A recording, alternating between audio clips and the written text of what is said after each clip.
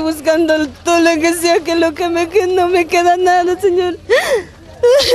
Yo me quiero morir, yo tengo yo debo un montón al banco, ¿de dónde voy a pagar? En la mercadería se me... Villa El Salvador amaneció con una terrible noticia. Las primeras luces del día dejaron ver la magnitud del desastre ocurrido en el mercado más grande del distrito. El incendio que comenzó cerca de las 3 de la madrugada fue controlado aproximadamente a las 6 de la mañana. Ello se pudo gracias a una escalera telescópica del cuerpo de bomberos.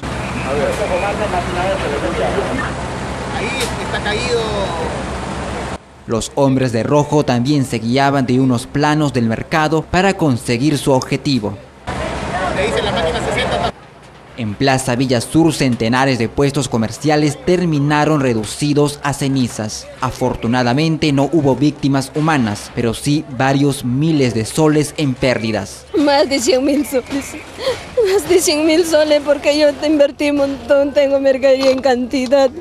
Son dos puestos, estaba repleto, tenía parte arriba tablero, estaba lleno, lleno de mercadería.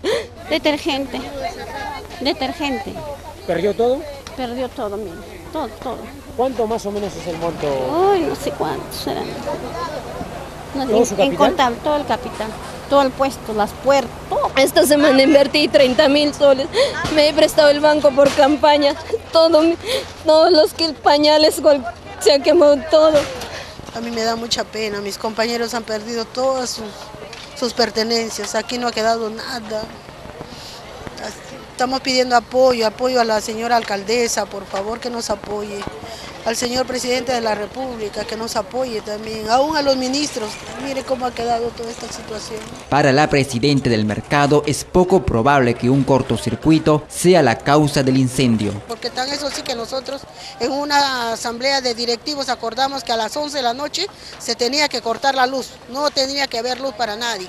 Entonces a esa hora se cortaba la luz, por lo tanto no puede haber sido cortocircuito, pues, se, se apagaban las llaves generales. Otra hipótesis refiere a que fue provocado por una vela encendida al interior de un puesto. Algunos tuvieron suerte y sus puestos no sufrieron mayores daños. Nosotros vendíamos papitas, verduritas, limoncitos, eso. Nada más, pero menos mal no llegó hasta acá. Para algunos comerciantes no es la primera vez que pasan por una situación como esta. De mi sobrina estoy rescatando algunas cosas. De mi sobrina todo se ha quemado. Ya son dos veces que va quemando. ¿Dónde fue la primera vez? En campo ferial ha quemado. De mi sobrina vino. ¿Qué ha podido recuperar acá? Nada, todo lo que están quemados. Todo quemado se estoy sacando. No hay nada de bueno. Puede ser que sirva para lavarse siquiera. con la presidenta del mercado. Ya, para que se están a Sí, ya han entrado este, 30 serenos con 20 de la UCI. Ya han entrado, ya lo están saliendo. Ya. Sí, ya están saliendo, ya están saliendo. Ya. Por su parte, el alcalde del distrito, Guido Iñigo Peralta, aseguró que brindará apoyo a todos los damnificados. Bueno, yo, yo tengo un mes y unos días de gestión. Eh, es una prioridad formalizar a todos los mercados y que de una vez hagan y tengan una infraestructura adecuada. Eh, nosotros por intermedio de la municipalidad vamos a apoyarlos para hacer las gestiones para que ellos puedan conseguir el financiamiento respectivo. Además, afirmó que se tomarán las medidas correctivas para prevenir otra tragedia similar. Eh, vamos a instalar una mesa de trabajo con el presidente de los mercados, defensa civil, que es un área muy importante en, en, este, en la municipalidad. De esta manera pues vamos a tratar de eh, prever cualquier incendio y cualquier desastre que pueda haber en nuestro distrito.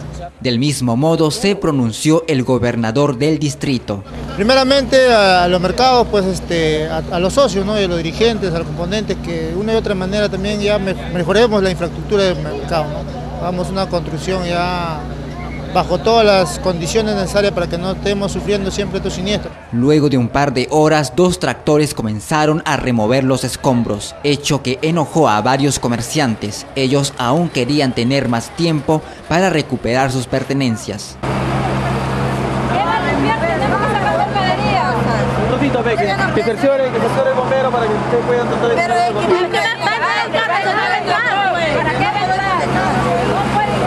Aún falta saber los resultados de las investigaciones sobre lo ocurrido, un lamentable suceso que debe esclarecerse. Mientras tanto, algunos comerciantes tratarán de superar esta tragedia.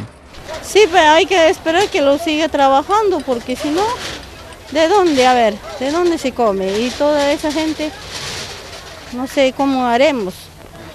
Tendrá que limpiar todo para de vuelta a trabajarlo, pues. ¿Qué se hace más? Y había sacado solamente por cuatro meses y te voy a pagar.